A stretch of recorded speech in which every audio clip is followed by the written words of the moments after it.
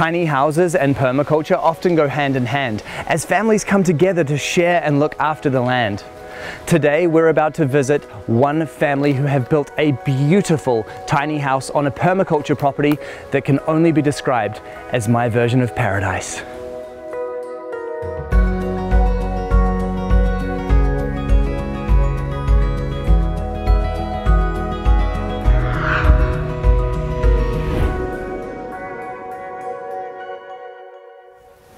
G'day Murray. G'day Bryce. Nice to meet you mate. You too. And how wonderful to see your home. This just looks amazing. Thank you. Mm. Tell me a little bit about what actually inspired you to build a tiny house on wheels. Oh, well, I saw the concept. There was a guy in a workshop where I was renting a space, uh, building a tiny house. And I thought it was interesting, but kind of like, why would you not just get a caravan? And then circumstances unfolded where we needed to get out of our house and there was the choice between like going back into the rental market, which I really didn't want to do, or, or, or, finding some solution, and that's when the penny dropped about why you would build a tiny house. So tell me about the construction of this house. Well, it's, uh, it's built on a two-ton trailer.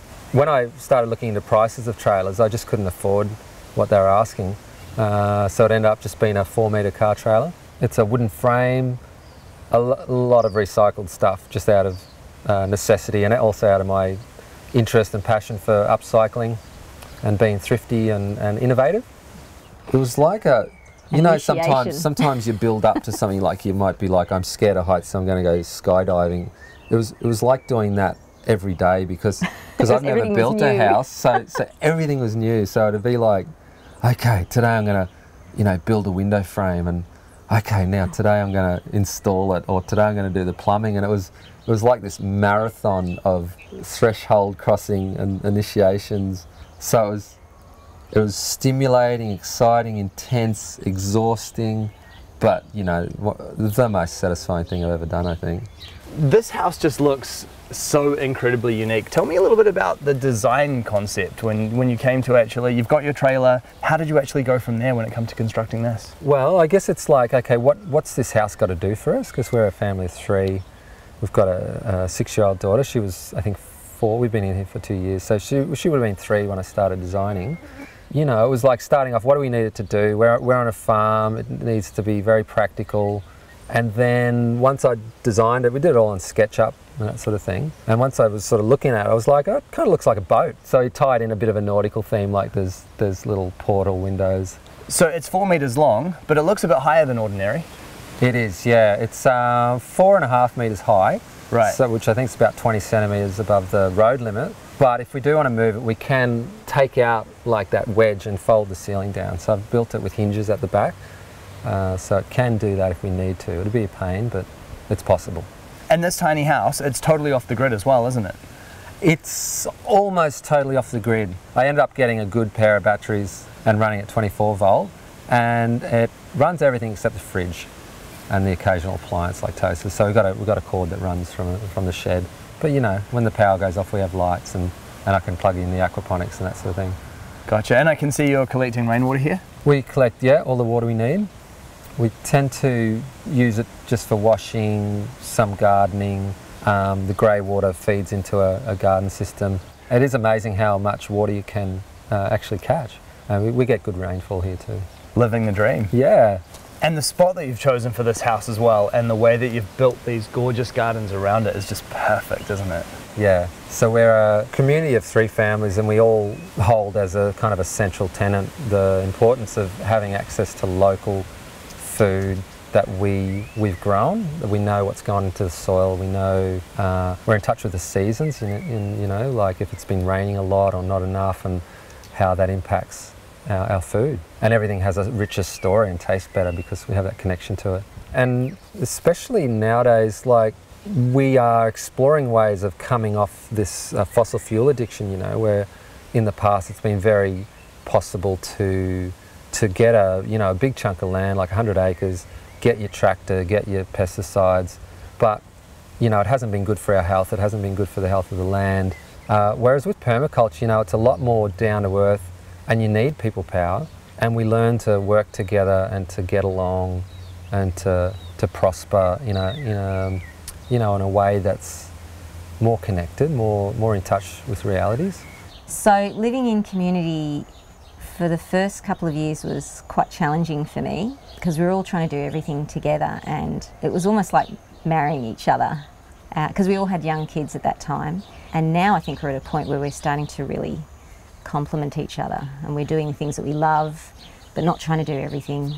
And, and I also I think we're not trying to be totally off grid, but you know, we're taking the, the small steps that we can really to, to live a little more consciously. Yeah, what becomes obvious is that we're not used to, well, in, Yeah. in my case, not really used to cooperating so intimately with other people. So the mm-hmm. first thing to get over was like, or to learn was a lot of compromise. And so you can often, if you can keep the communication channels open, you can often come up with a solution to have everyone's needs met that an individual mightn't have thought of. And I like to think of it in terms of games, like how can we find a win-win game of where we all we all get our needs met, and be a bit light with it as well. Like none of us are experts in anything, so a lot of it's just being a bit playful and you know having the courage to just try things out and be okay with mistakes and learn learn from them, seeing see them as opportunities rather than something's gone wrong. and I think we're all up for that, which is good. Yeah. Well, I am very intrigued to see what you've done on the inside. Can we have a look? Sure, come All on in. right, thank you.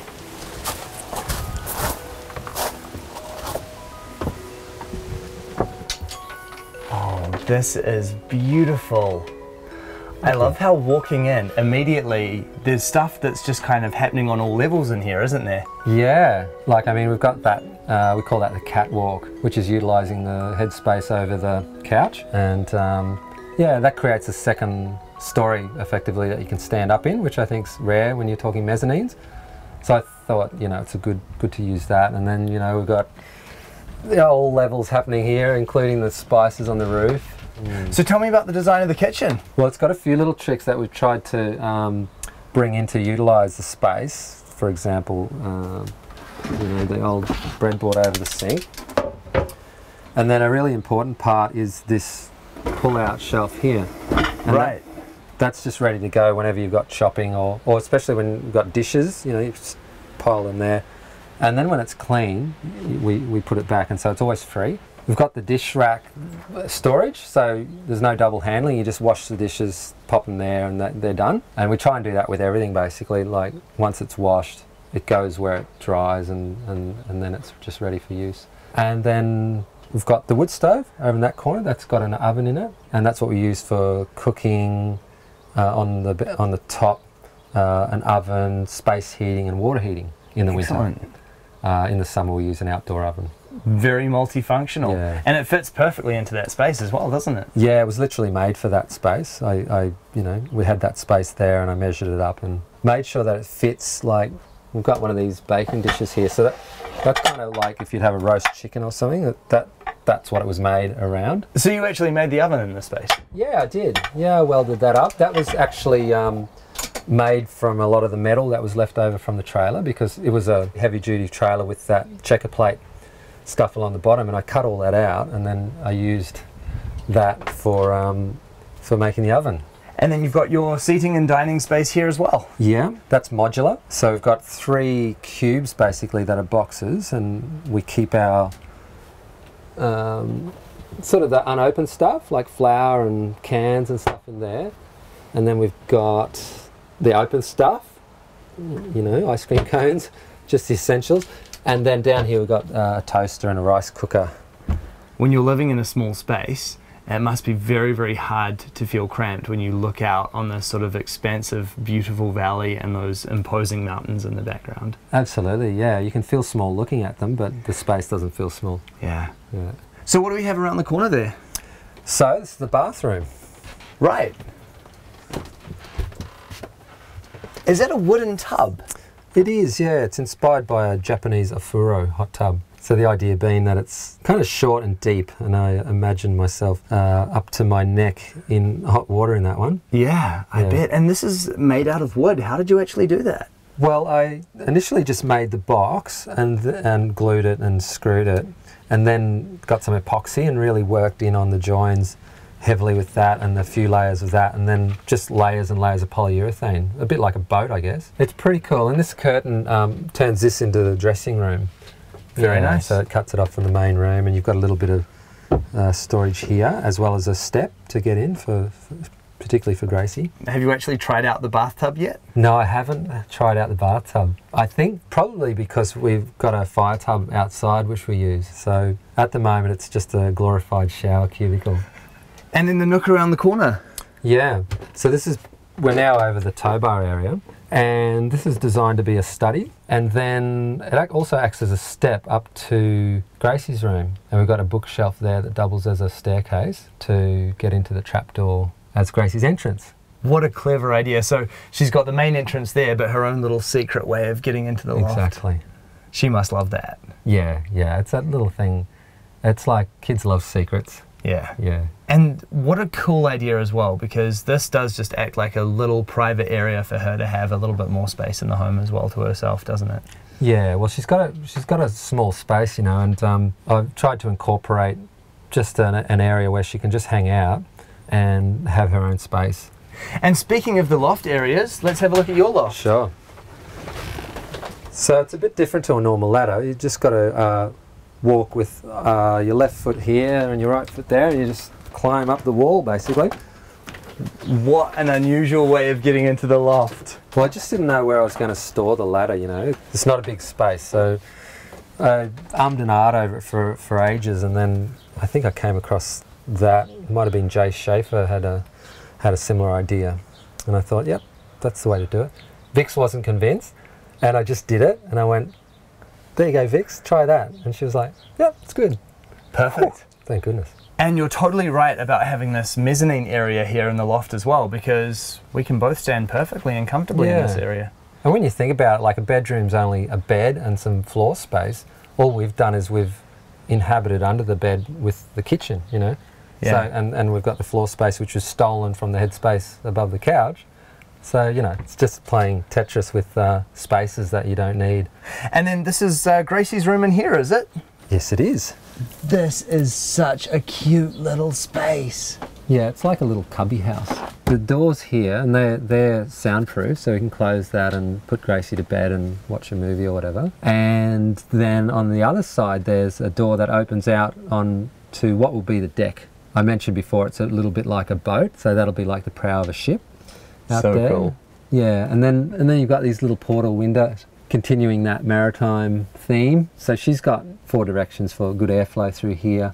Uh, Vix came up with this idea of you know instead of a clothes basket, it's a clothes bag. So it pretty much just shrinks when it's empty, and then and then expands until it's washing time. So they're really clever. And then her storage is just under this little area. She must love this little room. Yeah, she Yeah. does. It's her room. Kids need a space to call their own. And then your loft is over here. Yeah. And then you've got all your clothing storage up here as well. Yeah, bit of Marie Kondo sort of um, rolling up the clothes, uh, continuing a bit of the whole tree aesthetic there. Very inspired by the Wabi Sabi um, design principle, uh, which uh, you know utilizes a lot of natural shapes. So I've just tried to bring that in with some of the curvy bits of wood and stuff like that. So up here as well, this is where you've got your hot water heater. Yeah, so that's a upcycled hot water system. It's solar. So we've got the heat collector just on the awning that's out on the north side there, out the front of the living space. And uh, yeah, it works really well. So you've got your hot water heater up here. You've got the solar collector outside, your solar panels, composting toilet. Should we go check all that stuff out? Yeah, let's go. All right. Oh, this garden is just lovely. Yeah, we love it. So first of all, this deck is a fold-out extension from the building. So if it was moved, we could fold it up. And then the next thing is it's got a built-in wicking beds, which utilise the grey water that comes out of the kitchen sink, and it goes through a worm bed and into a filtration system, and then comes out, and the plants can use it. So we never need to water these. We just pick all our herbs for dinner and come back in and use them in our meal. And then we've got a aquaponic system over there Excellent. Can you show me the aquaponics setup? Yeah, so this is it. Utilising some more of the hard garbage throw-out stuff from the local tip shop. Yeah, all these uh, all these old tubs. Yeah, they're brilliant. We love bathtubs around here. Can't get enough of them. Yeah. So, so basically, what you've got is a a fish tank down here. Our aquaponics has trout in it, and they are pooing into the water, and then the water is getting pumped up to these grow beds continuously, and then they are. There's a device called a bell siphon which which cyclically fills and empties the tank, and so then that fills up the tubs, and the plants use up all of the nutrients, and there's a bacteria culture in there that's transforming the ammonia from the fish into usable nitrates for the plants. So that cleans the water and then it goes back down to the fish. From here across, we sort of move into the market garden area where we grow a lot of our own food uh, and then also food for sale. So over here we've got a what's called a mandala system which incorporates chickens, fruit trees, perennial crops and seasonal crops all in a moving successional kind of dynamic. And uh, yeah, it's all about you know moving the nutrients where you need it, when you need it, without kind of having to bring stuff in and take stuff out. You know, it's all just Yeah. using what's there. And so, what about the uh, toilet here? So we've got an outdoor composting toilet, and it's housed over here underneath the solar panels. So there's so a there it composting is in toilet in there. glory. So just a simple bucket composting system. Yeah, it's as simple as you get. And being here on a permaculture farm, I'm sure you've got no end of uses for the compost. Absolutely, the more the better. Yeah. Yeah, we'd never dream of uh, trying to get rid of it. Yeah, just transform it into a state that it's usable. So does the human manure get added to your existing compost setup, or do you have a different composting system for your human manure? Yeah, we have an exclusive system for the human manure, uh, and then that'll be used on the fruit trees when it's ready. Great, Yeah. nice and simple. So how long have you actually been living here now in total? We've been in the tiny house for two years. And how's it all working out for you? Yeah, we've loved it, and we've just started to find that, that living here is giving us, you know, more energy, more time, because we're not servicing a house, we're not servicing a loan, we're just uh, setting up systems that, that now feed us, you know, and they, they require minimal input, you know, and it's all just taken care of itself. And what about the cost of setting all this up? So when we moved in two years ago, the total cost was thirteen thousand dollars. So I had a lot of time to build, uh, but not a lot of money was coming in. But it, it just trickled in, and we never got into debt, never had to borrow, and it and just at the end of the year after building a house, it kind of had the same bank balance as as at the beginning, and and I think that had a lot to do with how the build unfolded because you know if you don't if someone gives you a bunch of wood and it's full of nails and, and you've got a lot of time, not a lot of money, you'll sit and pull the nails out. But I think it was really good for the for the build to not actually have much money because it, it made me look for for Be other creative. ways. You're just like, how can I save money? I, I, I like the idea that um, thrift can lead to thriving as well, you know, just by being resourceful and using what's on hand and, and keeping it simple and keeping it local. Yeah. And what about the cost of actually being here on the land? Well, it's the normal rates, I guess. Uh, we are servicing a loan to buy into the land as well. So that I guess we're paying what you'd normally pay in a rental situation, except it's not it's not just down the drain. It's it's an investment. Well, an investment it certainly is. This is an incredible property, a beautiful house, and a wonderful, wonderful setup for your family. Thank you you. so much for sharing your home with me. Pleasure, Bryce. This tiny house is a truly remarkable home. So much thought has gone into its design, so much effort has gone into the clever sourcing of materials, and one of the things that I like most about this space is the way that it's really designed to work with the outside world. Because in the end, it's out there that we live our lives. But at the end of a long day, what an incredible place to come home to.